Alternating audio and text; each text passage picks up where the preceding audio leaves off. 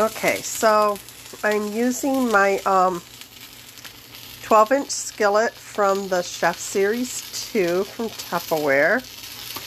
This here is our spatula. I like it because it's quite big enough to flip something like this. No oil on the pan. Gives it a nice brown, golden brown coating. Look, I could even flip with the top of this. Love this thing.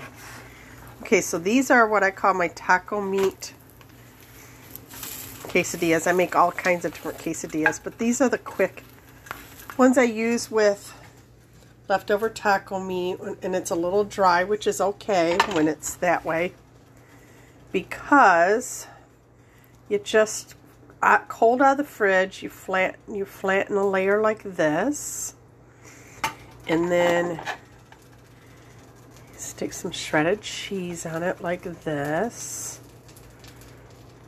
I'm liberal with the cheese because we are cheese heads. And it'd be nice if I flipped this one too so I didn't burn it. So, no matter where at on the pan, whether it's way up here or right in the middle, look how evenly they cook. Now this is the first one I put on. Then I then I made up these and put them on. So this one's the only reason why this is a little darker. Otherwise they would all be evenly cooked. That's the beauty of this pan is that it evenly cooks. It has a stay cool handle. Look, I can touch this metal handle. And I don't want to go past this little piece right here. It's like a little thumb guard to remind you not to go past that because from here on, it's a little hot. and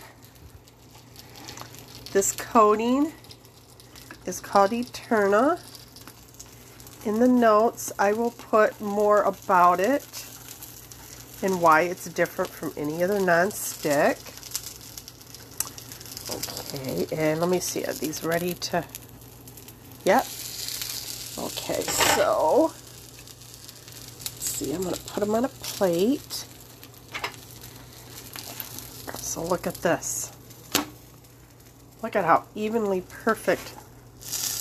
Like you're going to get the perfect quesadilla, the perfect grilled cheese, the perfectly even cooked steak. Okay. Now this pan heats up faster and cools down faster than any other pan. Therefore, you're going to be saving on energy and time. So look at that. Oh, little little sleepyhead decided to bark. He is so funny. He sleeps most of the day. He's a chihuahua. They do that. Okay. No bark. He hears someone outside the door. Okay, so there's our next. And I let these cool down just a little. Whew, it's a little hot. Then I'll serve them up. Okay. Hey, hi, Ernie. I'm going to wave at you. Hey, Ernie, you too can be a chef.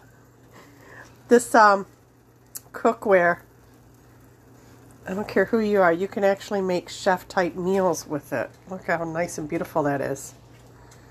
I know you have good taste in food because I see your foodie pictures and I'm drooling. Okay, well, I'm going to make that the end of this video and I've got to serve these up.